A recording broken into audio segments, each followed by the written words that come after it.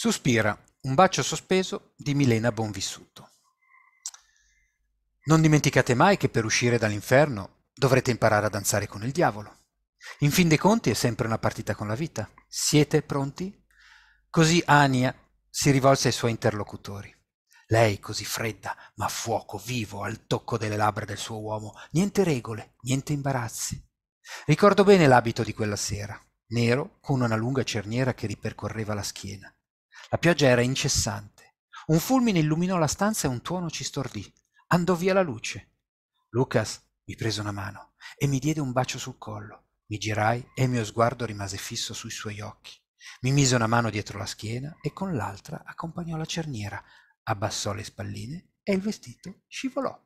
La seta non crea difficoltà, scivola. Mi sciolse i capelli e mi sussurrò che ero una calamita da cui il suo pensiero non poteva staccarsi. I lampi continuavano a mettere in risalto quella pelle bianca. Ormai eravamo un'unica cosa. Lui si tolse l'ultimo brandello di vestito. Ormai non c'era via di ritorno. Il profumo di ognuno di noi era mischiato al legno di pino che ardeva nel camino, lo stesso fuoco che ci travolgeva.